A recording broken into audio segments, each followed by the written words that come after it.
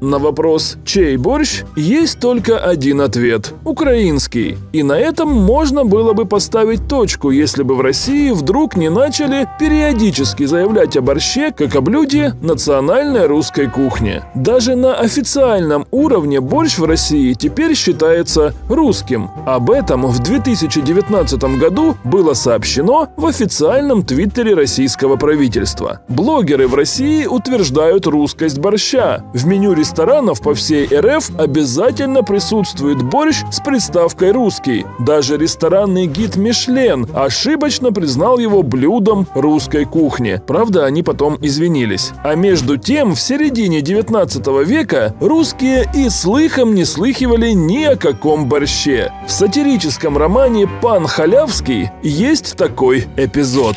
Борщ с кормленою птицей, чудеснейший, салом свиным заправленный и сметаною забеленный. Прелесть! Таких борщей я уже не нахожу нигде. Я, по счастью моему, был в Петербурге. Не из тщеславия хвалюсь этим, а к речи пришлось. Обедал у порядочных людей, если можно назвать петербургские обеды обедами. Это не обед, а просто так, ничто. Тьфу! Вообразите, борщу не спрашивай, потому что никто и понятия не имеет, как составить его.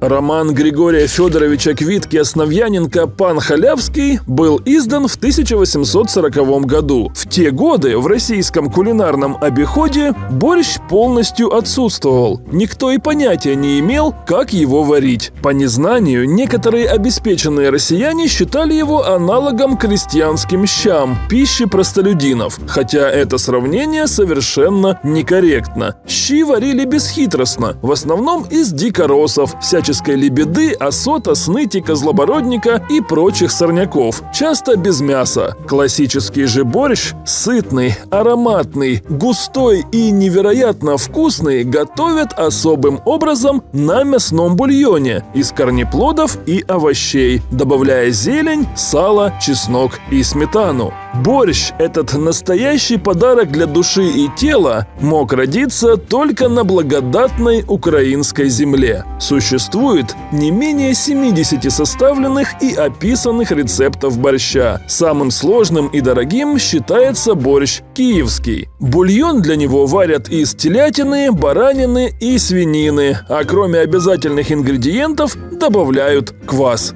Судя по распространению рецептов борща, то он как блюдо сформировался на территории современной Украины. И именно здесь, в Украине и далее в Польше, Литве и части Беларуси мы видим борщ в перечне исторических блюд. В Московию, а позже Российскую империю, он был импортирован вместе с волнами культурной и вынужденной миграции, например, казачества, после разрушения Сечи. Однако нет свидетельств тому, что борщ в те времена стал полноправной частью русской кухни. Его варили в основном в местах проживания украинцев на территории России. Любопытный факт. Считается, что Екатерина II была любительницей борща и имела для этого специального повара. Однако все было не совсем так. На самом деле выражение «пригласить на чудесный борщ» вызывало у современников Екатерины II страх и трепет. Дело обстояло так. В конце царствования императрицы допросы особо опасных государственных преступников вел обыкновенно начальник тайной экспедиции тайный советник и доверенное лицо Екатерины Степан Иванович Шишковский. Главным приемом его было приманивание жертвы на задушевный разговор, дружескую беседу дворянина с дворянином. Ну а когда собеседник оттаивал, расслаблялся, тут его и приглашали на чудесный борщ, то есть на допрос с пристрастием. Причем формы такого допроса были весьма изысканы. Так, к примеру, ручка кресла, в котором сидел гость, вдруг раздвигалась и смыкалась с другой стороны кресла. Человек уже не мог ни высвободиться, ни предотвратить тайной экзекуции. По знаку Шишковского люк с креслом опускался под пол. Над полом оставалась лишь голова, а все остальное тело висело под полом, где кресло снимали и жертву нещадно секли. Причем исполнители не видели видели, кого именно они наказывают. Потом человек приводился в прежний порядок и с креслом поднимался из-под пола. Таковы вот были борщи в это странное время русской истории. Вот это вот были действительно настоящие русские борщи.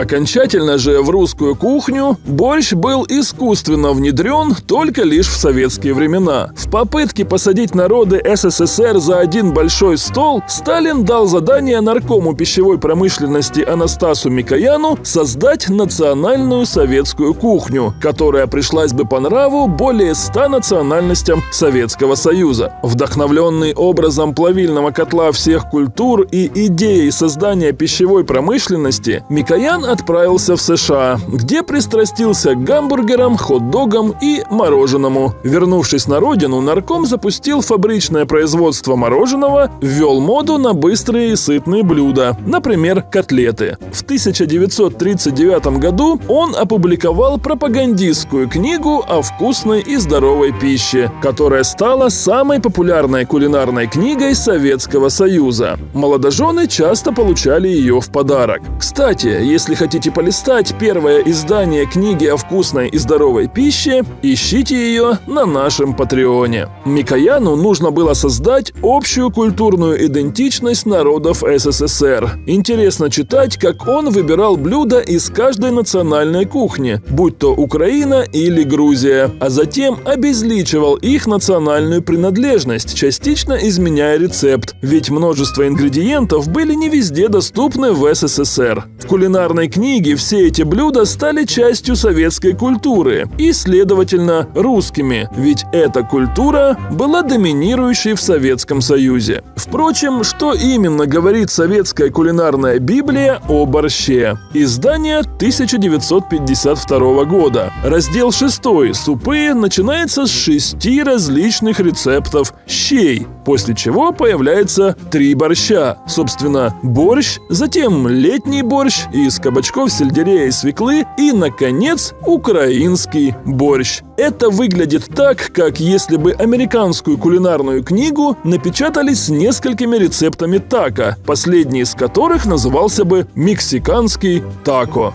Так или иначе, россияне теперь гордятся украинским борщом, совершенно серьезно называя его своим национальным блюдом. Странно, что сегодня они забыли о своем исконно-посконном русском блюде щах. Наверное, борщ все-таки более вдохновляющая еда. Россия постоянно крадет абсолютно все, до чего может дотянуться. И они считают это нормальным и безобидным. Ну и что, это же всего лишь борщ, ну а дальше это же же всего лишь Крым, это же всего лишь Донбасс и так далее и тому подобное. А все начинается с малого. Присвоение себе символа украинской кухни укладывается в общую историческую тенденцию политики Москвы по экспансии русского мира в Украину. Русские привыкли обесценивать национальные культуры соседних народов, воруя у других то, что русским никогда не принадлежало, чтобы со временем выдавать украденное за свое собственное собственное. Особенно это касается славян. Знаменитая фраза Карла Чапика как раз об этом. Русские все вокруг себя называют славянским, чтобы потом все славянское назвать русским. Но как бы русские ни старались, борщ, Крым, Луганск и Донецк всегда будут только украинскими, точно так же, как и Русь, только киевской. Украденное никогда не становится собственностью вора, и изменить это ничто не в силах, даже временная оккупация. Данное видео было бы неполным, если бы мы специально для вас, друзья, не показали пошаговый рецепт приготовления классического борща. Список продуктов вы можете увидеть на экране. Несмотря на обилие вариантов блюда, в его приготовлении есть базовая основа, отталкиваясь от которой можно позволить себе кулинарные эксперименты. Итак, приготовление борща выглядит следующим образом. Первонаперво нужно сварить мясной бульон. В него добавляем соль и душистый перец. Свеклу, помытую и очищенную, шинкуем на крупной терке. Перекладываем на разогретую сковороду. Добавляем уксус и сахар. Томатную пасту разбавляем бульоном и добавляем к свекле. Все вместе тушим на сковороде на растительном масле до полуготовности. Морковь трем на крупной терке. Лук режем кубиками. Затем пассируем вместе на разогретом подсолнечном масле. Чистим и режем кубиками картофель. Кладем его в кипящий бульон. Шинкуем капусту и отправляем ее в кастрюлю. Через 15 минут добавляем тушеную свеклу, пассерованные овощи и лавровый лист. Готовим пикантную заправку – сало с чесноком и зеленью петрушки. Заправляем борщ и доводим до кипения. Борщ готов. Выключаем и даем настояться под крышкой в течение 15-20 минут. Перед подачей на стол каждую порцию борща посыпаем мелко нарезанной зеленью и добавляем сметану. Запах свежесваренного борща не сравнить ни с чем, а его богатый вкус не заменит ни одно блюдо мира. По крайней мере, мамин борщ точно стоит на вершине кулинарного Олимпа. И, конечно же, борщ – это целая культура застолья и общения, семейных обедов и дружеских посиделок. Борщ создает неповторимую атмосферу домашнего уюта и тепла, особенно если дополнить его правильными ингредиентами. Но это только по желанию. Смачного, друзі! Борщ – це Україна.